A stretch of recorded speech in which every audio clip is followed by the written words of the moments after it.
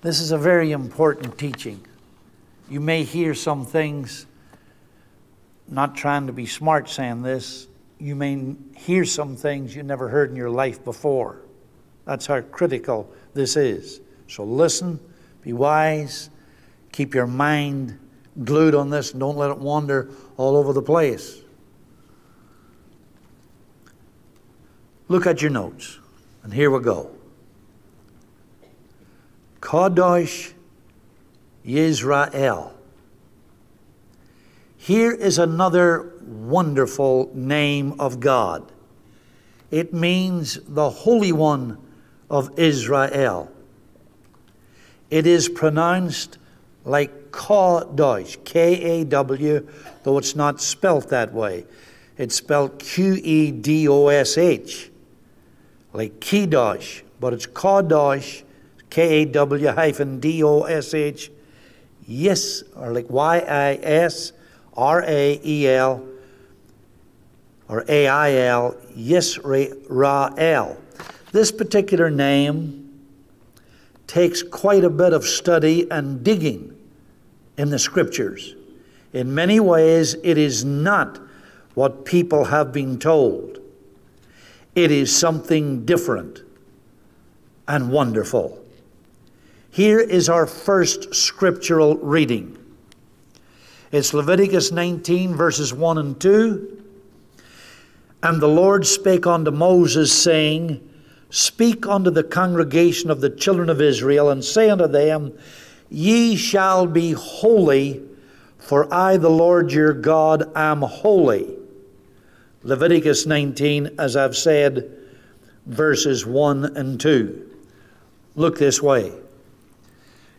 We learn more of this from the notes momentarily. Holiness is not, in its purest form, and there's a lot to say about this this morning, it is not something that you do. Holiness is not about performance, it is about commitment. God said that the children of Israel were not only holy unto Him, He said they were His treasure. When at the same time they were proving they were rebellious. And He was having to deal with them strongly to get them into line. And yet He went ahead and called them a holy people, His treasure.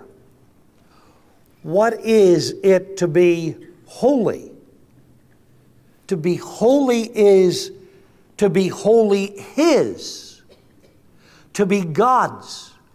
Even though you're far from perfect and may take a long time to get into line with what He wants to teach you, and that will happen through growth as you go on with God, and you'll never be fully perfect within yourself until one day we're in heaven we see Him face to face. We'll never be as perfect ever as He is, obviously but we grow. There's a difference between being born and then growing and developing. A child gets born and it doesn't wait for six months until then it grows an extra arm. It doesn't have to wait for three years before it grows a left ear. When it is born, it is complete, it's alive, it's a human being, but of course it's not mature. It has to develop. We have to develop. We have to grow.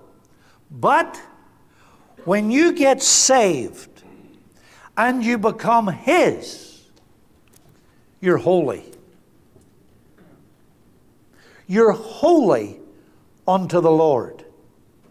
Well, I didn't know I was holy. Well, you know it today. God calls you holy because what is holy is the person that belongs to Him, not the person who is perfect. Now, this is very scriptural, and we'll see to it in a moment or two. But get that into your mind. What happens is this we become holy before the Lord, and then we learn and we grow in Christ and more and more we will conform unto His will. But He accepts us because we're holy. That is, we have been born again and given unto Him, and as His child, we are accounted holy because we've committed our lives unto Him, period. So that we don't worry all the time that we're not holy enough and we're always condemned by the devil and we always have to do do this and do do that to be holy. No, you're already holy and you're already accepted before the Lord, but you may still be a baby and you have to grow. When a baby is born, he is a baby all right. He belongs to that mother and father all right, but he has a lot to learn, hasn't he? And do you think because he can't walk immediately and he can't talk immediately and he's not mature immediately and he gets all mixed up immediately and he cries when he shouldn't cry and he stays up half the night, that suddenly they say that he doesn't belong to them? He's theirs 100%. There's no doubt about it. He belongs to them. He's totally accepted. But what he needs is to mature and develop, and that takes time. But there's not going to be a question as to who belongs to who because he belongs to them because he was born into their family. The greatest weapon that the devil has for the believer is condemnation that they're not good enough, that they're always failing that they're not doing enough. And the devil not only jumps on that condemnation, he has preachers all over the world who assist him every week. They really, really know how to assist the devil, even though many of them don't know they're doing that, but they know what they're doing. And that is, they constantly try to tell us, you know, how to be more holy by doing this, that, and the other thing. And they'll quote such things as, you know, uh, without holiness, uh, no man shall see the Lord. Well, the word holy there uh, simply means those that are His. Without being His, you'll never see the Lord. Why we know that?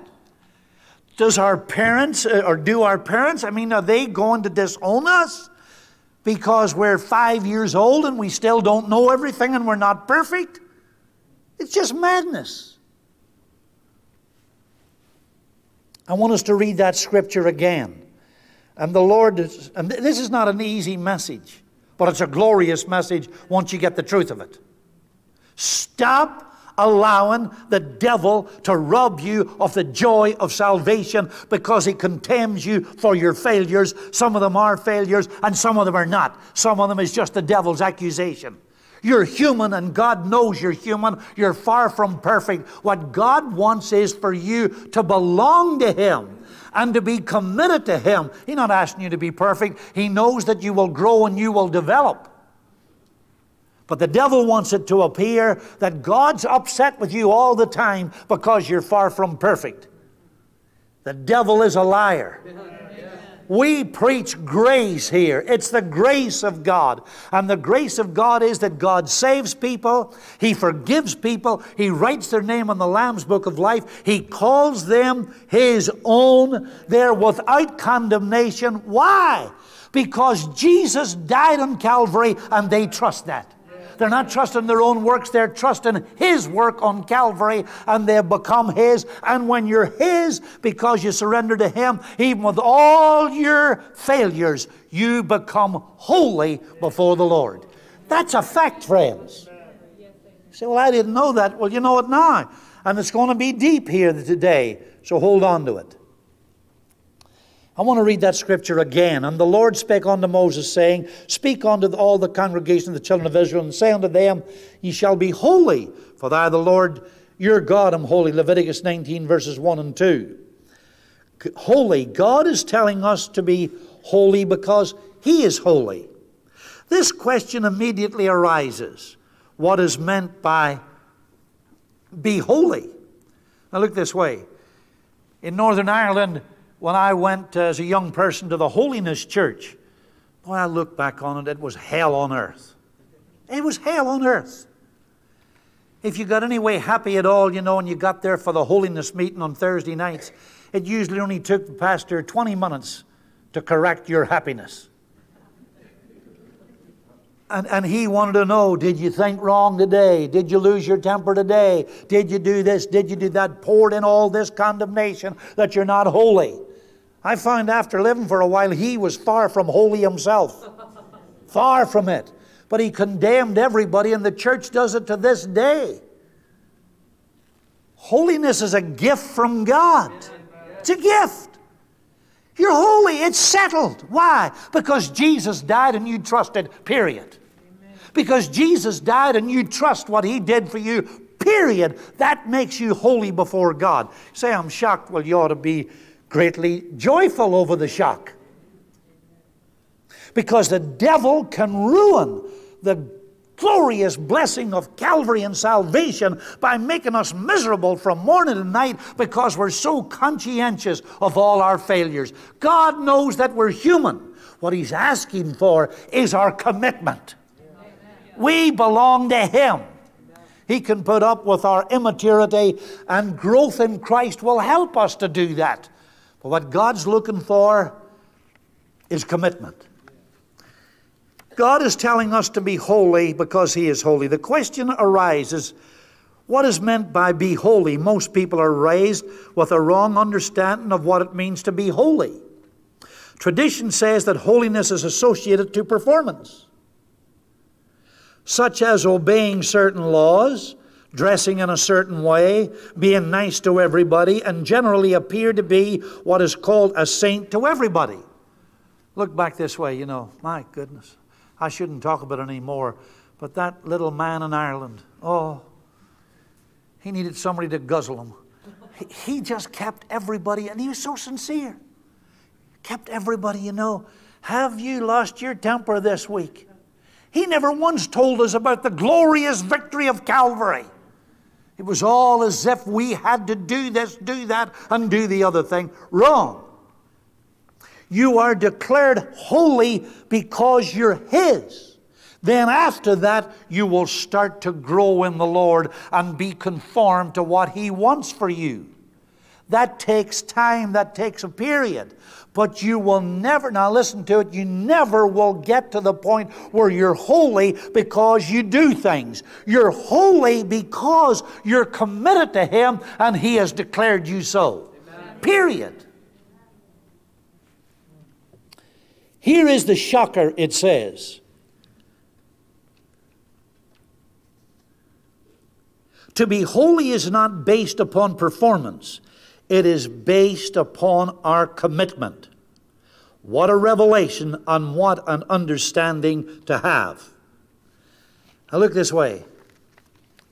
When you're holy, which means holy His, just like a child belongs to those parents, and yet it's all mixed up and it doesn't know very much, and it's only three months old, but it's, but it's, it's theirs. When you're holy, you're His. Now listen to this. Being holy, being His, all because of the blood, will change you. But it takes time. As God throws His light upon the Scriptures, you will grow like the child grows.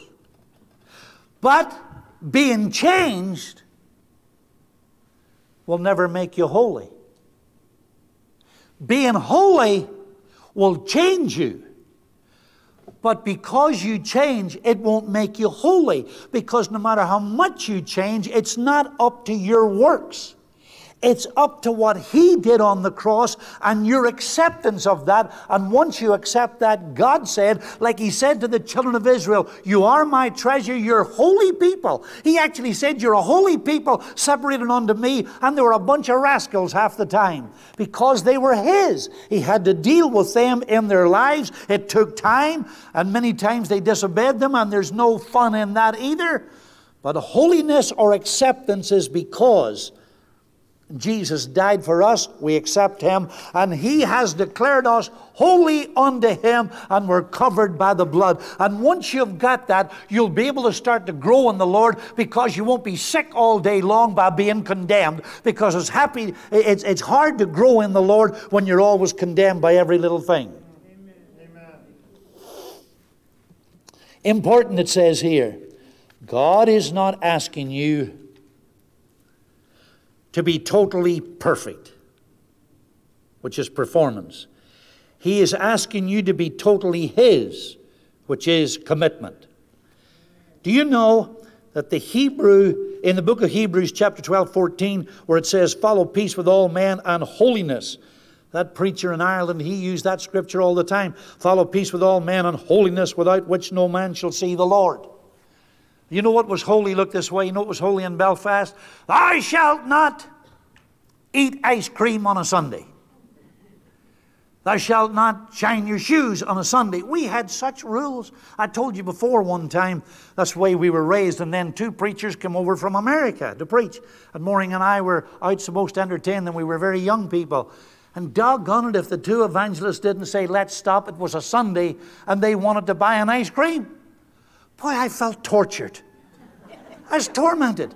And they wanted these uh, cones, and so we stopped and they got these cones, and they, uh, uh he got it, and the other preacher got it, and Maureen got it, and I got it, and I didn't want to do. I didn't know what to do. I thought I was going to hell for sure. And I thought, uh, seriously, it was awful. Because then I wasn't holy before God. And I thought, well, well, the first thought I had was, I'll put it into my pocket, and then I thought, I can't put ice cream into my pocket. And I was tortured. And the, the most awful thing was not those two preachers. They never even thought about it. It was Maureen. She is over there enjoying. not a solitary conviction about the whole thing altogether. You've got to watch holier than thou people who will rob the joy of your salvation by condemning you because you're human and you fail.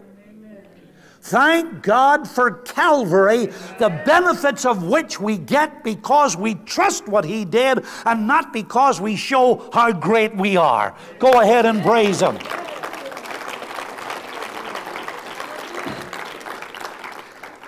Some time ago, no, no, I'll, I'll, come to that in a moment because I have a bit more to finish on this. Hebrews 12 14, follow peace with all men and holiness, without which no man shall see the Lord. That is being His. Holiness is being His. It's commitment to Him, not being perfect. And of course, you'll never see the Lord if you're not His. That's obvious, isn't it? Here's some illustrations. If you've got a car and that car is not going very well, in fact, what it says here is don't laugh, it's paid for. But it's your car, all right, and you've got it paid for. Does that mean it's perfect? No, it's not perfect, but it's totally paid for. You're not perfect, but you've been totally paid for by the Lord Jesus Christ. I think that in many ways, preachers have done more damage to Christians than anybody else in the world with their message of constant condemnation so that we don't have joy because we always feel we fall short. Or it says here in the next little illustration a house. If you've got a house and you have it paid for, your home is paid for, does that mean everything about it is perfect? No. Or another one there, we already talked about it. If you have children, they're yours totally. Are they perfect? No. Some time ago, I bought a Jewish Bible, which of course only has the Old Testament and uh, their commentary on it. And I want you to see what the Jewish people say is the meaning of something in the Old Testament. It's magnificent.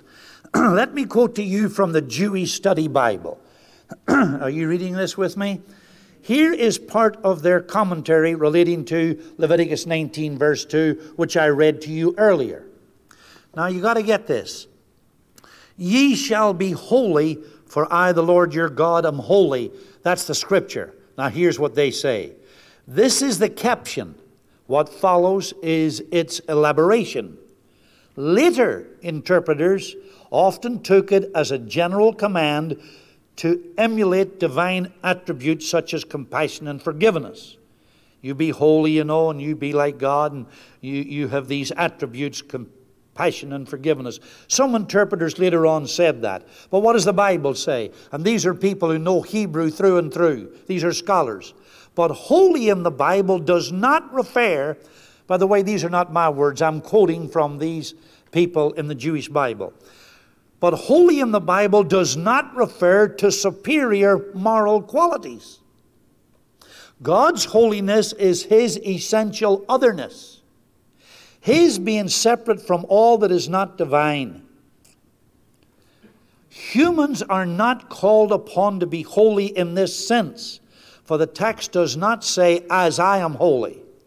Holiness in humans, as in time, space, objects, and speech, is the state of belonging to the deity, being designated God's personal property.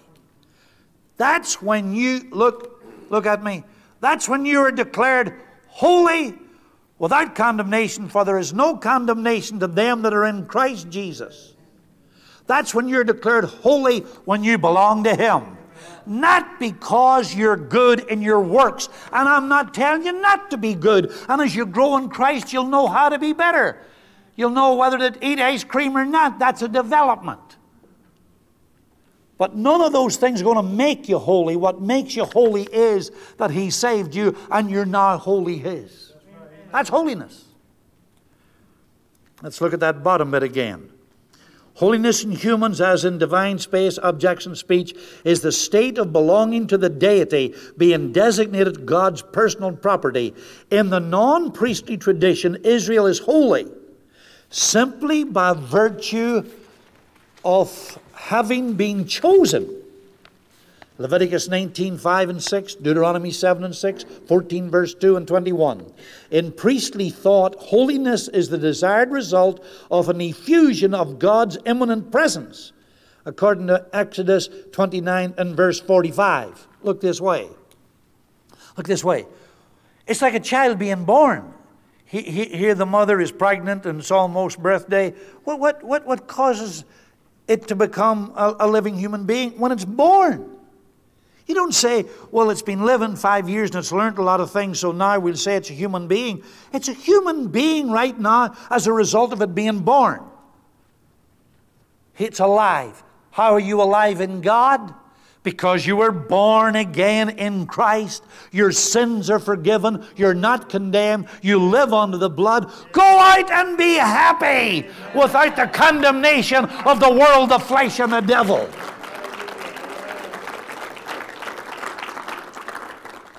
It says here, the above is a powerful comment from the Jewish Bible. Holiness is not performance, it is commitment. If we are to be holy because God is holy, and if it were based on performance, would that then mean that God has to perform in order for Him to be holy? And in order to maintain His holiness? Obviously not. Look at Deuteronomy 7, verse 6. Here's what God says to the children of Israel who were far from perfect. For thou art an holy people. Hey, wait a minute now. Look, look this way a minute. Were these people really holy? They, they, they, they were blowing it all the time. God rebuked them for those things, but God says they're a holy people unto Him.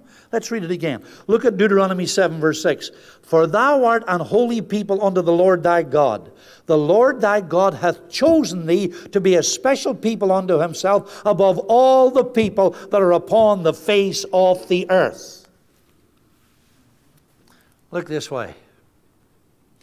We have got to finally grab hold of the difference between our standing and our state. I've told you about this several times before, but listen to it carefully again. There's your standing before God, and there's your state. What is the difference? Well, our standing before God is we trust Him, we're saved, and we're covered with the blood. Period. What is our state? Well, see, when we're saved and we're His and we're made holy, there is the blood of Christ and the righteousness of Christ put over us. It's, it's, it's absolutely put, put, over us. Dike given to us. So we're under the blood. Therefore, we're covered and we're accepted wholly by God. Underneath Christ's righteousness is our state. And what are we like in our daily state? Well, we're a bit up and down. We're doing things we shouldn't be doing. We're struggling. We're trying to make things better. And the devil slips in, and preachers help him, and they say something like this that your state is so wrong that it means that you're standing before God is wrong and He's condemning you and you're not really saved. Wrong, wrong, wrong, wrong, wrong. Your standing and your state are two different things. Your state is something that you're growing in. You're making mistakes. You're asking God to help you. You, you trip and fall many a time. You're beginning to grow in the Lord. That's wonderful. You're developing it. But while you're doing that, you're covered with the righteousness of Christ. God looks upon you on His righteousness and He sees what Christ has done and He declares you holy unto God because He sees the blood of Christ. There's a difference between the situation which God sees which is your standing before God, and your state, which you develop in on a daily basis. The devil will try to make you feel, I repeat, that your standing is wrong because your state is wrong and you're weak there. Well, Lord, I shouldn't have done that. Help me. And you sincerely want to get that corrected and you sincerely want not to do that next time, and you're struggling, you're battling with it, and, and the devil says, Well, well, you know, you're condemned, and then you get so condemned, you know, for weeks you can hardly get right with God because you're dealing with your state and you believe that God is looking on your state wrong. God is looking upon your standing. Your standing is brought about by trusting Him. Your state is brought about by learning and growing and maturing. Every day we learn more about it. That is our state. Our standing is through trust, not through performance, through trust. We trust Him, and as we trust Him, we're accepted by the blood. So that even though in our state we're mixed up, we're confused, we're asking for forgiveness, at the same time we rejoice that we're fully accepted by God because of the shed blood and our trust in Him and the standing before God through His imputed righteousness, which is given to us by faith and not by works even though we have to work on our state and we grow in Christ and we develop in the Lord. Have you got what I just said, friends? Have you got that? That's important, big time. Got to say it again. To so many people, it's the devil, uh, it's the Lord. Let me change it for a moment. It's the Lord condemning everybody because of their state. Therefore, we're human. We're human. We, we, we, we, we make a mess of this and we do that wrong. And, and of course, we're growing and we're not so bad as we used to be in our state. That's growth. And God looks upon us and he, He's always mad with us because of our, our growth or our lack of it. Wrong. God looks upon us and He sees DK Usane, Christ has ministered to us His eternal righteousness.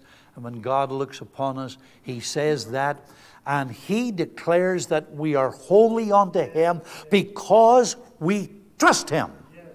And then He allows us to develop in Him step by step as unto the Lord. Amen. That is very strong and very powerful. Otherwise, you can be miserable most of the time. Let's read again here a little bit.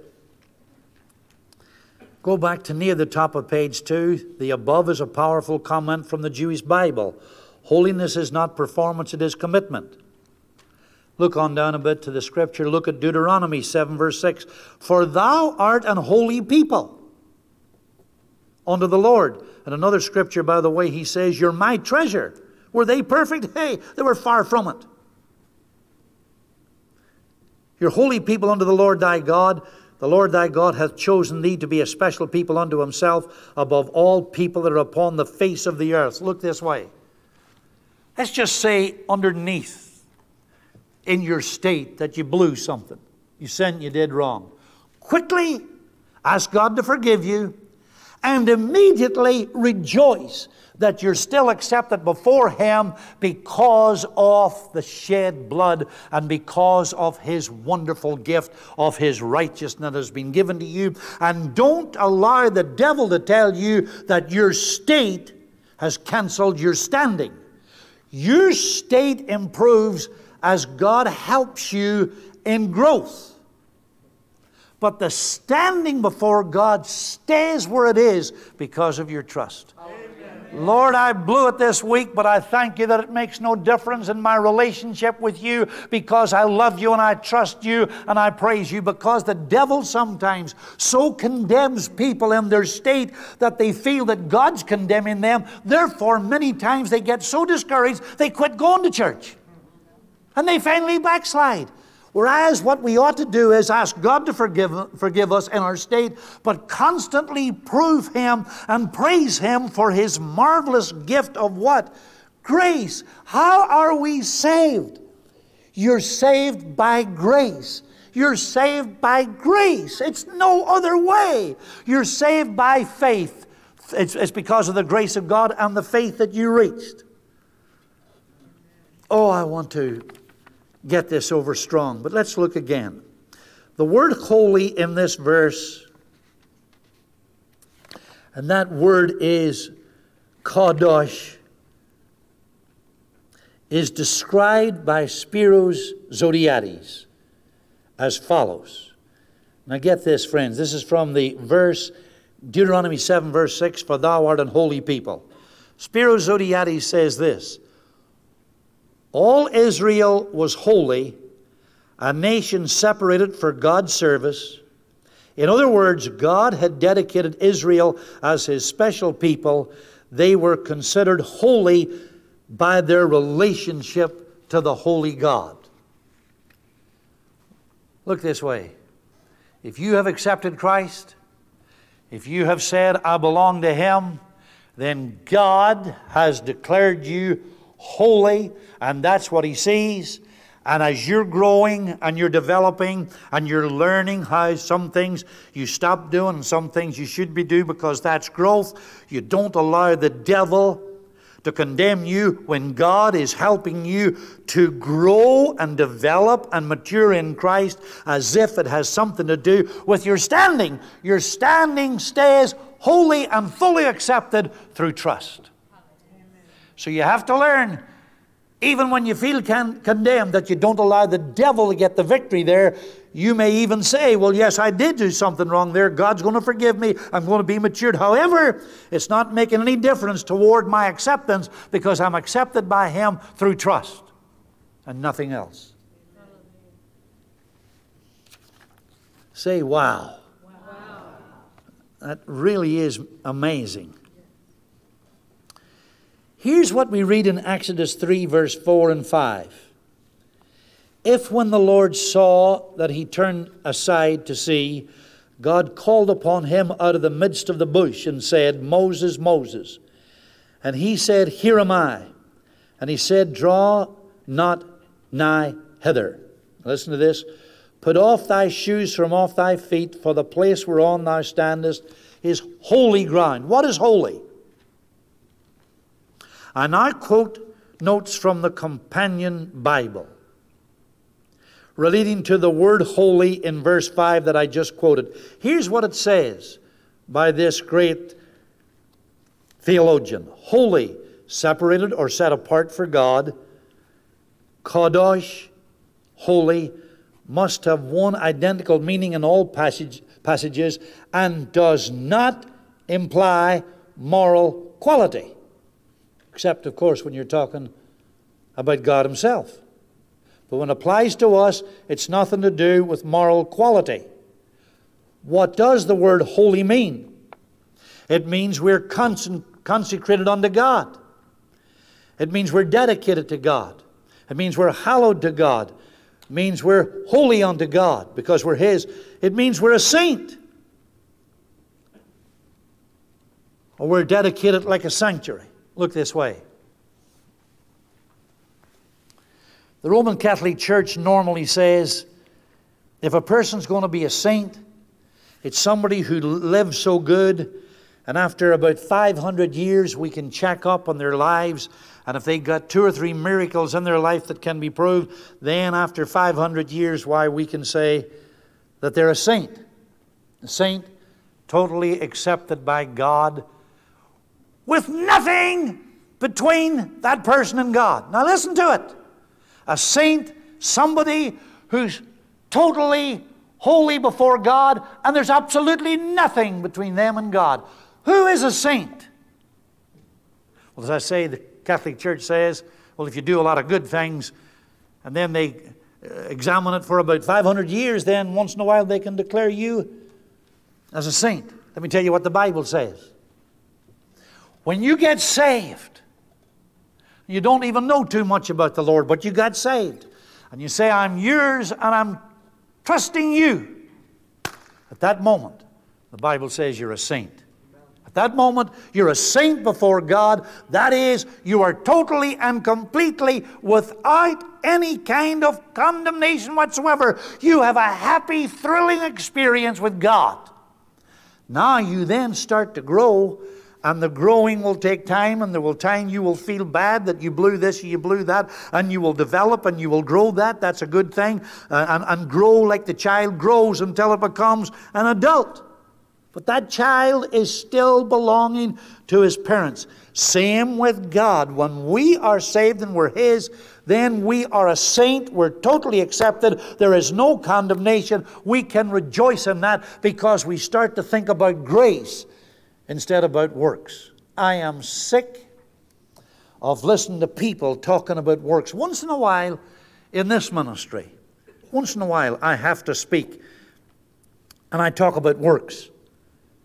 I say to people, you know, if you're saved, there's some things that will change regarding works. If you rob the, a bank, you, you stop robbing banks. It's things that are obvious. But I tell you what, I mention that once in a while. There's certainly obvious things that I say, but my message is not normally that. My message is the message of preaching grace. And the grace of God is a totally free gift where God removes all condemnation for yesterday, today, and forever because when you got saved, He forgave your sins of yesterday, today, and forever. Your sins for later today and for tomorrow and for 10 years from now, He'll already forgive them. You say, What? You say, Well, does this not mean if you preach this kind of thing and I know all my sins are forgiven, then, then I guess I can do what I like? I'll go out and get drunk and I'll go back to robbing the banks or whatever. Listen, if you really get saved, you're going to have such desires after God that you want to go, you don't want to go out and rob the bank. But it'll take time for you to change. It takes time to, for you to change. But God's not going to suddenly say, You're mine, you're holy, you're forgiven, because, well, now that you've got one, one year of, of, of getting more like me, therefore now you're holy. Not at all. You're holy and accepted by Him by faith instantly the moment you get saved. That's it. You're His. No condemnation now we dread. We are saved we develop in the Lord after that. Go ahead and praise Him. Charles Wesley said, No condemnation now I dread. Jesus and all in Him is mine. Alive in Him, my living head, and clothed in righteousness divine. Bold I approach the eternal throne and claim through Christ, claim my crown through Christ my own. Look at me, you over here, and you over here, and you over here, and you over here. You're being robbed of the joy of your salvation. You're being robbed of the excitement of salvation. You're being robbed of the sheer joy of your salvation. Why?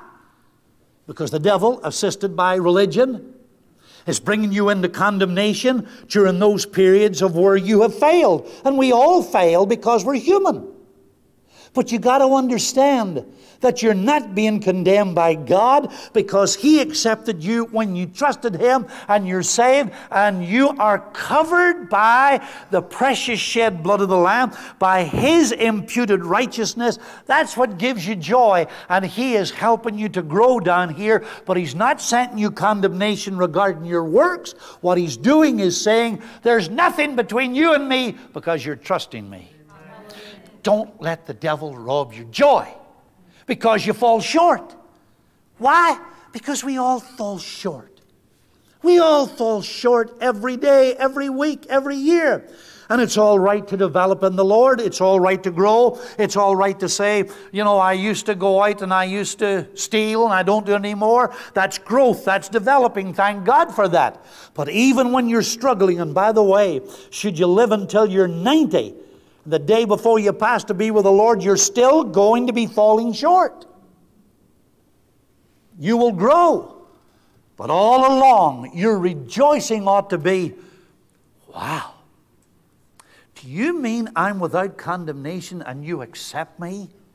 Even though I'm making a mess of things down here because I trust you? The answer is yes to that. And by the way, the more you get that joy regarding your standing, the more power you will have relating to your state to have the victory over the world, the flesh, and the devil. That's a powerful point.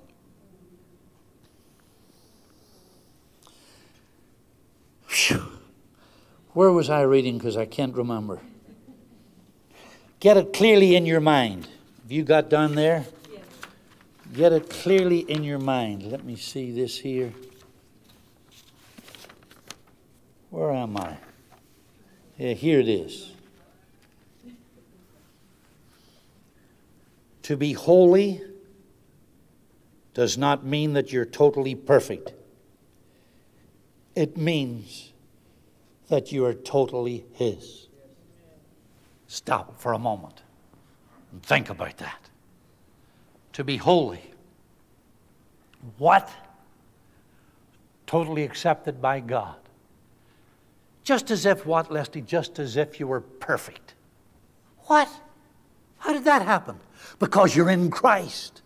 We're accepted in the beloved. And when you're in Christ and Christ has got you on the inside, Christ is then accepted by the Father because He's Christ. And it means that you're accepted by the Father with the same acceptance that Christ is accepted by the Father because when Christ stands in front of the Father, you're inside, so you're totally accepted as well. Phenomenal. Rejoice in your salvation. Don't let the devil keep condemning you because you fall short. You grow, you, long, you learn, you work on your subject, but there's something else going on. God accepts you as perfect. What do you say, Leslie? I'm telling you, God accepts you as perfect. I want to preach more of what the gospel is, which is the astounding grace of God, which comes because of one thing trust, and it has nothing to do with works. Well, Esther, you're, you're, you're, you're going to encourage people, and I'm repeating this. You're going to encourage people by telling them that about the standing and but trust. You encourage them to go out and do wrong and just say, well, after all, I'm accepted. God accepts me. I can do wrong. If you're really His and you long for Him and you're accepted in Him, His Spirit will be in you and will help you to develop and to live for Christ. The Bible says, I get it walk in the Spirit. What does it mean, walking in the Spirit? Some people think that means, you know, you get spooky, you know. Some meetings you see, you know, people get all kind of, I'm walking in the Spirit. Walking in the Spirit means that you don't walk by the works of the flesh. You work by what Jesus did for you in Calvary. And then what does it say? Walk in the Spirit, and ye shall not fulfill the lusts of the flesh. Ah, ah. So the more you enjoy that you are fully, perfectly saved before Him, perfectly saved, nothing to add to it, as saved as you will be a billion years after you're in heaven and with Him. Isn't that powerful? The way that you're saved right now, which is an eternal way to be saved, and you rejoice in that, that will help you in your life to walk not after the lust of the flesh. But you know what the church preaches? The exact opposite. The church preaches all against the lusts of the flesh. And then they say, when you don't do that, then you'll be walking in the Spirit. But that's a non sequitur. That's, that's not true. That's putting it the wrong way. Now, this, now, get it, it's deep.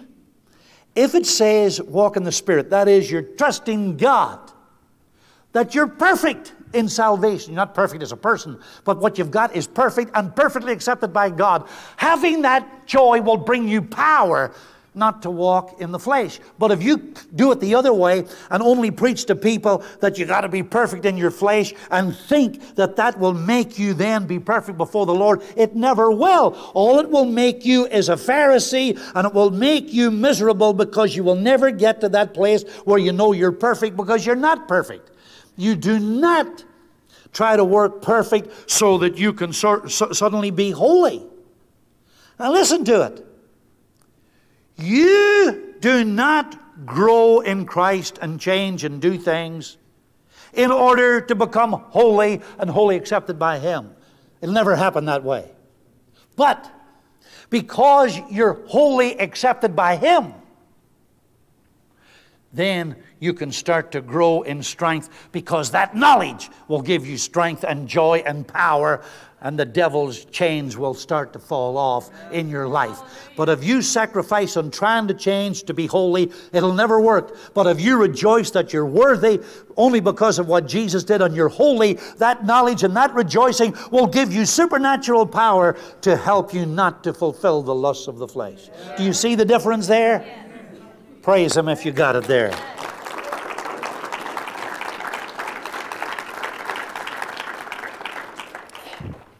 Used to be in Ireland, you know, to be holy was you were to wear your hair this way or don't wear it or wear a hat or wear makeup or don't wear makeup. It was all a bunch of rules and regulations. Wrong.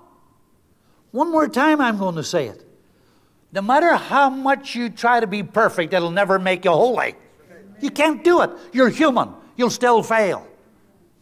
However, the more you rejoice that you're already holy because you trust Him, that joy and that power will give you amazing ability to overcome the works of the flesh. Amen. See the difference? Amen. The church usually preaches it the other way. This is kind of in, in depth. Get it clearly in your mind. Is that where I'm at? To be holy does not mean that you're totally perfect, it means that you're totally His. You belong to Him 100%. Not performance, it's commitment. This knowledge sets us free so, uh, from so many of the bondages of Satan and tradition. Look this way. Let me point over at you. I know that you're not perfect. I know you're far from perfect. Don't try to be Pharisaical and appear religious like those holy so called preachers did in Ireland. You're not perfect you're, you're, you're, you're, you're human. You're the exact same. You're the same. You're the same. And above all, I'm the same. Far from perfect. But before God, totally and 100% accepted and holy before God, not because of one work that's done, but because of my trust and your trust upon what Jesus performed on Calvary 2,000 years ago. And when you trust, God says that you are holy and completely His. So I demand that you don't try to be holy through your works that you rejoice that you're already holy, and when you do that, that power will help you in your works. Wow, wow, wow, wow, wow, wow, wow. Go ahead and praise Him.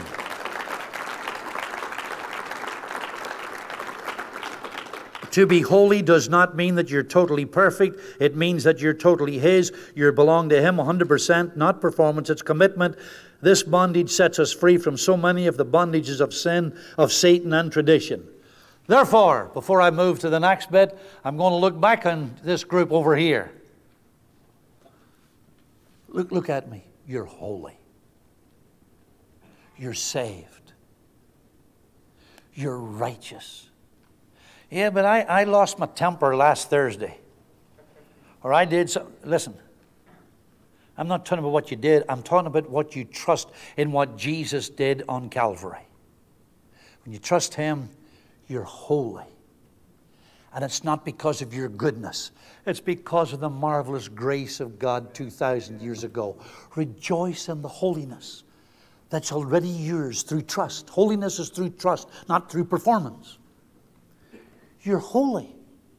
Say, me holy? If you only knew me, see, it's a gift. It's a gift. It's like somebody saying, well, well, I need a $1,000 and somebody pays it for you. It's paid for. Well, I didn't pay it. I understand you didn't pay it, but it's paid for. Therefore, you can rejoice. It's paid for. Jesus paid for it for you, and He paid for it for you too. The grace of God says it's staggering what the grace of God does. You are holy. You are saved. You are right for heaven. You are pleasing to God. You are covered with righteousness. God is, to use a human term, you are tickled with Him and thrilled with Him. You're a holy person reserved unto God. Why? Because He's so thrilled that you're not trying to depend upon your own works. You are by faith depending solely on what the Savior did on Calvary through His death and His resurrection. And because of that, at this moment, you are perfect, you are healed, you are delivered from all these things, and you are holy before God. Right now, you're holy. Go ahead and praise Him. I could say it a thousand times until I, I, I ram it into your head. You're holy. You're holy. It's our standing. What's our state? Well, when you get that joy that you're holy and that you're complete in your salvation and you start to do it, you know, not so you're not living the way you ought to be living. He's going to give you such power because that power derives from the great joy that He's not condemning you because of that, because He's rejoicing in your completeness. The Bible says, now listen to it by Paul, ye are complete in Him. You're 100% complete, period. Nothing else to do. You're saved because of the blood. Because of the blood. It's not because of $58. It's because of the blood of the everlasting covenant. To God be the glory. Amen. So, what are you? You're holy. What are you? You are complete. I am complete in Him. But, but if you don't watch, you know, the devil's condemnation will make you feel I'm far from perfect. Rebuke that thing Repent of it if you did something wrong. God will give you power. But I'm saying it again because it's so deep. I'm saying it again. The thing that will give you most power over weak things is when you rejoice over the fact that you're separated unto God, you're accepted as holy before Him because of your trust, and that will fill you with joy, and that will give you power over the world, the flesh, and the devil. Amen. You're holy. You're holy. You're holy. You are holy before God. Verses to ponder. Let's go quickly. 1 Corinthians 6, 19 and 20. What? Know ye not that your body is the temple of the Holy Ghost, which is in you, which ye have of God, and ye are not your own? Now listen to what it says. Ye are bought with a price. Therefore glorify God in your body and your spirit, which are God's. It says, Ye are not your own, you're bought with a price. Look this way. You do not say, it's no longer my car because it's not perfect. It's no longer my child because he's not mature. God doesn't say anything like that. God says you're His. Why? Because according to this, you're bought with a price and you are not your own. Galatians 1 verse 10 for do I now persuade man or God, or do I seek to please man? For if I yet please man, I should not be the servant of Christ. The word is doulos. You are a servant of God. You belong to Him. Look this way. You're covered. All your failures are covered because of the everlasting blood covenant, and you're perfect before Him. I emphasize that from now on you start to praise Him more for being complete in Christ rather than for your failures. You rejoice in your standing rather than just your state. Friends, listen. We don't have nearly the joy of our salvation. We don't have the thrill of amazing grace. We don't have the exception and the excitement of who and what we are in Christ. Why? Because of the devil's condemnation, which ruins our joy of this free gift. It, it's something like this. let me say this. Let's say you owe a big amount of money. You owe $100,000. And, and, and, and somebody's going to sue you for it. I mean, you're really burdened to, to the ground. And somebody pays it all for you. And just imagine this for a moment. They pay it for you. And you get news it's paid for and they've been paid off. Your creditor has been paid off. Instead of you having joy, which normally you would have, but by the illustration, you keep walking about saying, Well, you know, I'm far from perfect. I lost my temper this week. I'm far from what I ought to be. And you concentrate so much on your shortcomings that you don't get the joy. You've just had the bill of $100,000 paid. And when you get that joy, that'll help you to start to live again. Jesus died on the cross. Start to rejoice in it. Why? Because He made you complete. Even Jesus Christ Himself cannot add to your salvation. When He saved you, you're saved for time and eternity, and the whole connection is through trust and never through your performance. And that joy and that excitement will give you power as you're maturing and growing in Christ. Praise Him if you will.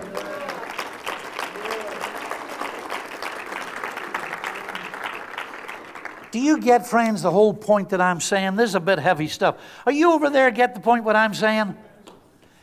One more time. Well, then, if that's one, then I can go out and do what I want to do. Wrong. When you get this kind of joy that you've already been made holy and you're a saint and you're complete, you'll find there's power to help you live a life of victory instead of going back to those things. Amen. Acts 27 23. I want to go as quick as I can. But if you will allow me, I want you to get this. For there stood by me this night the angel of God, whose I am and whom I serve. Paul said, I belong to God. Paul didn't say he was perfect, but the salvation is perfect. Now listen to this. I got to read it. Exodus 21, verses 1 through 6. Now these are the judgments which thou shalt set before them. If thou buy an Hebrew servant, six years he shall serve, and in the seventh he shall go free for nothing. So we're talking about a slave. If he come in by himself, he shall go out by himself. If he were married, then his wife shall go out with him. If he's a master, if his master have given him a wife, she was already a slave, and she have borne him sons or daughters, the wife and her children shall be her masters, and he shall have to go out by himself. But if the servant shall plainly say, I love my master, my wife, and my children, I shall not go out free, I will not go out free. Then his master shall bring him unto the judges. The word is actually Elohim, God. He shall also bring him to the door or unto the doorpost, and his master shall bore his ear through with an awl, and he shall serve him forever like his master's voice. I'm rushing this too quick, but look this way. I'm not even going to ask you. I'm going to continue with this as quickly as I can, but get it over to you. It's a monumental message. One more time. You're in desperation. You've been under the burden for $100,000. Somebody paid it for you. You ought to be happy. Instead of that, you're saying, I am still miserable because I'm condemned of my mistakes. Don't do that. Jesus died on Calvary. Rejoice in that, regardless of your mistakes, and that rejoicing will give you power regarding to your mistakes, and you'll mature all the more. Here, going back to the Old Testament, now get it. A man who hasn't got enough money or whatever, he becomes a slave. He works for uh, these six years, then he is set free. But during that period, he marries a wife, he's got children, and he says, I'm going to stay with my master. I'm not going to go free. I want to be my master's forever. You know what he does? When he makes that statement, the judges of the people, the hierarchy come in, they bring him close to the door, the door of the house, and they get then something that like an all AUL, AUL, like a sharp instrument of iron that pierces his ear, and that represents a pierced ear close by the door. The idea is simple. It was symbolic that he was going to be right at the door, listening to what the master said because the master lived in the door. So now he's got a voice. Do you remember in the old days, some of you younger people wouldn't remember it, uh, at least it was in Ireland. Uh, I don't know if you had it here, but there was a, an advertisement that they used to have for like an old gramophone with the horn, and it was a little dog that sit and listened to the gramophone, and it always said his master's voice. Do any of you remember that? That's an old ad. Yes, you do. His master's voice. Listen to me. This is saying I'm not perfect, I know that, but something symbolic has happened. And the ear is pierced. It's just symbolic to show that I have got an ear for the Master. It's the Master's voice. From now on, don't let the devil ruin you that you're always condemned by the devil talking to you about your failures. Start to listen to the Master's voice. And he says, I'm the master's from this day forth forever. We are not rejoicing enough. We are not happy enough. We are not thrilled enough because of the grace of God, because of the blood, because of Calvary. Why? Because the devil and preachers condemn us so much that we're always condemned about our shortfallings and we feel, will we ever get to the place of being holy? You're already holy. You're already saved. You're already righteous. Dikaiosune. Rejoice in that. And see how you're rejoicing in your standing will gloriously help your state. Oh, I want another praise the Lord for that, friends. I want another praise the Lord. We need to be almost so excited we can't stand it. Honestly. So excited we're saved. We're complete. You're what? Uh, yeah, the hundred thousand's paid. You don't go around saying, and I'm back to my same illustration. Well, I'm miserable because I failed. If somebody paid you $100,000, you would go about saying, Fantastic, fantastic, it's done. I, well, you're far from perfect. Hey, I know I'm far from perfect, but listen, he paid $100,000 for me. I'm debt free. Fantastic. That's the way we ought to be in salvation. Instead of that, preachers have ruined us. A wrong message has ruined us. The devil has ruined us. Why? Because one more time, I've been over it a thousand times, it seems, we think more about our lack of success rather than thinking about God paying the $100,000, which is not $100,000. It's the blood. We're saved by grace. We're saved by the grace of God. We're saved.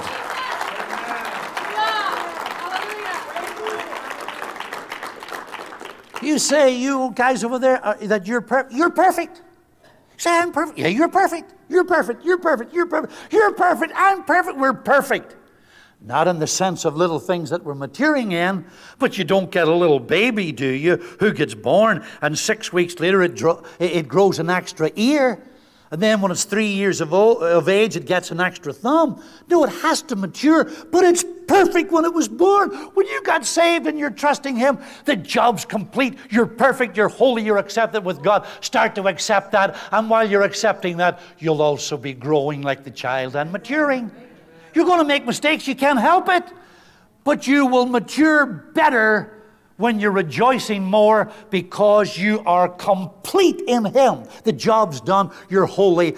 Shut up to the devil who's blaming you on everything and start rejoicing in your standing rather than struggling in your state. Hallelujah. Blessed be God. Praise Him.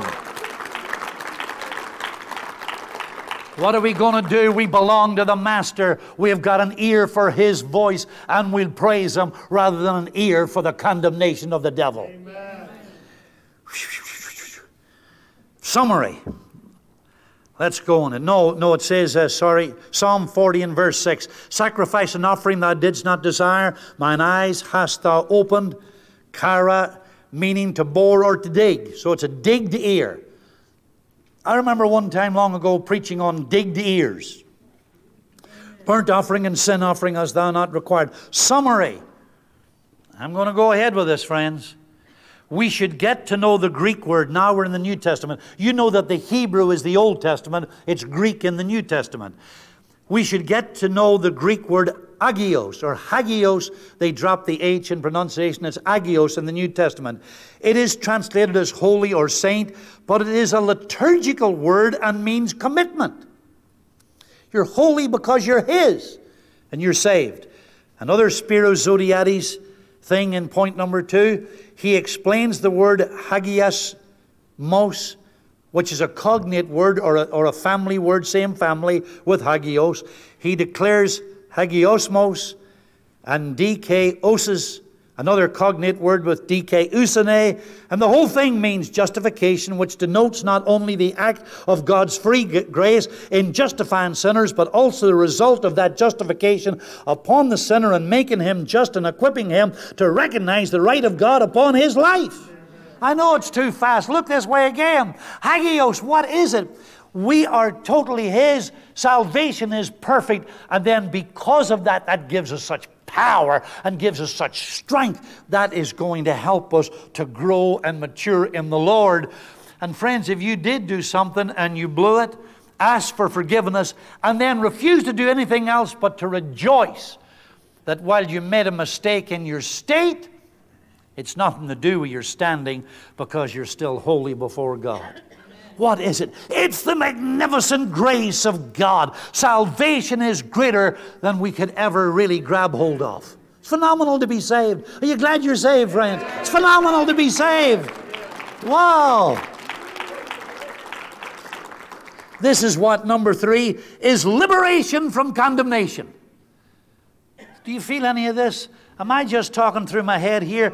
Do you, do you at least feel some kind of, you're liberated. You're not condemned. You're liberated. Why? Because of a gift, because of a gift, because of a gift. It's because of a gift. It's because of a gift. Somebody paid, no, not your $100,000. Somebody paid the price on Calvary. You accepted by faith. God said, that's it. It's done. Amen. No condemnation now I dread. For there is no condemnation to them which are in Christ Jesus. Archie Bunker.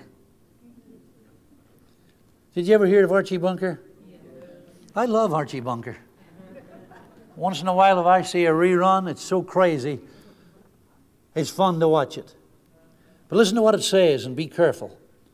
Archie Bunker, there's a certain book that said something like God and Archie Bunker. This is true. There's a book somebody wrote. And this was the beginning statement. It says, In the beginning, Archie created God after his own image.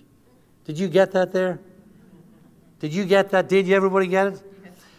In the beginning, Archie created God in his own image. Look this way. More than Archie Bunker does that. Most preachers do that. We create God in our own image. And whether it's self esteem or whether it's condemnation because of our lack and our failures or whether it's, you know, uh, uh, uh, doing all the nice things for, for, for people and, and trying to be, as I say, full of self esteem and so forth. Don't do it that way. Do it God's way. Amen. And what is God's way? God's way is this we are made perfect through right standing, which is by trust, without the assistance of works. If you do 200 works to be better, you'll never get salvation. If you do 10,000 works to be better, it'll never get you salvation, never get you holiness.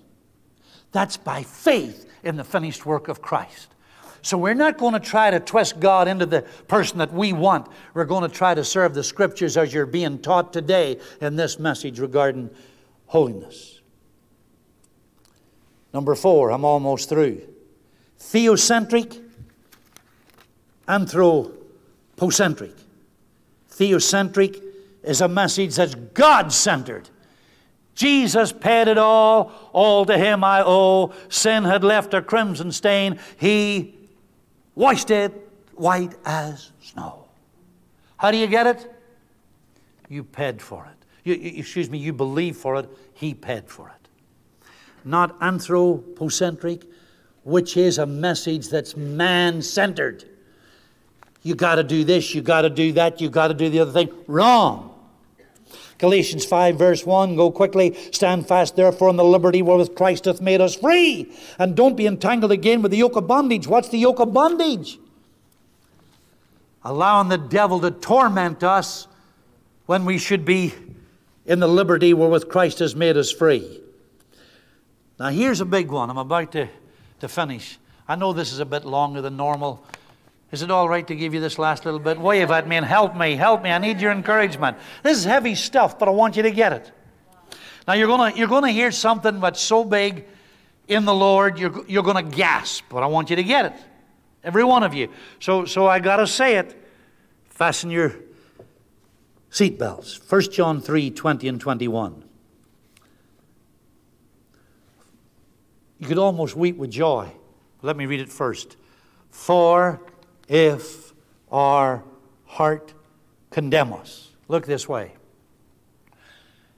Here's your standing, you're trusting God, but over here you blew something. You don't want to do it. Trusting God will give you strength not to do it again, but but but but but you blew something. And I mean you feel so bad about it. Your conscience is going to condemn you or whatever, and the devil and preachers are going to join join in and so destroy you that you you lose the joy of of the free gift. But what does it say? It says something revolutionary. So let's read it. If our heart condemn us, God is greater than our hearts. Look this way. What's that mean? If your heart, your conscience condemns you relating to your state, God is bigger than that situation. What is He? God knows that. He knows that you're going to get forgiven, but He's a lot bigger than that thing that you blew. So let's say how big He is. He is so big that Jesus died for you. He knows your love. He knows your blessing. He knows that you want His blessing. He knows a whole lot of things. He's bigger than that thing. And you ask for forgiveness for that, but above all, rejoice in your salvation, and you will soon overcome that thing and have joy to stay as an overcomer. Because even when your heart condemns you, it doesn't say God turns miserable. It says, even then, when your heart condemns you, God is greater than your heart. It's a marvelous thing to know. Salvation it still works. You're still holy through trust. And then it says, when you got that fixed up, when your heart condemn us not, you've more confidence toward God because it was dealt with right away. Isn't that beautiful? So, what do we have as we close?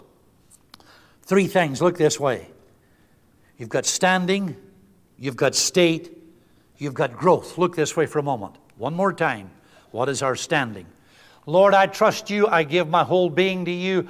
God makes us holy. He gives us Christ in His wonderful full salvation, dikaiosune. We're covered with the blood. That's our standing. Underneath our standing, like as if right now I had a big white sheet over me. You couldn't see me. You know I'm there all right. You know the shape is there, but I'm covered. You are covered, but underneath it, there you are. That's your state. But as you work on that with maturity, you will get stronger in the Lord. And as you do what? As you do that, what is that? That is growth. That's like the baby growing.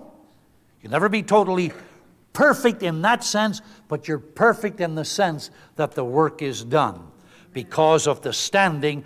The standing comes through trust. The state develops through learning where you blew it and getting God's strength so that you don't need to do it next time. And if you do it next time, He'll help you the next time or whatever. I'm trying to make a big issue of it because it is. We ought to be delirious almost with joy and not allow the devil to torment us with condemnation.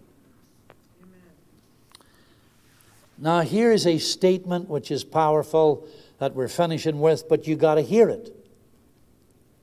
What God does for you is even more important than what God does in you. Look this way. It's great what God does in you because we're developing in Him. But if He didn't do something for you to begin with, He could never do anything in you. It's what He does for you, which is a total gift. And after He does that and you accept that, then you're filled with joy, and that gives you immeasurable strength to develop in maturity regarding your state. For your standing is through trust, your state is through development in Christ. That's growth. And then it says, Thank God for Koidos Yes Ra El. God says, I'm holy, I'm other. You're total, look this way, you're totally dedicated to me. I want you to be holy too. That is, you're totally mine. And that will help you to grow in the Lord and in the power of His might. I hope I didn't keep you too long. I couldn't quit that today until you got it. You are free. Salvation is magnificent. Let's stand and let's rejoice in it, every one of us. Come on, let's go ahead. Come on, rejoice in it, friends.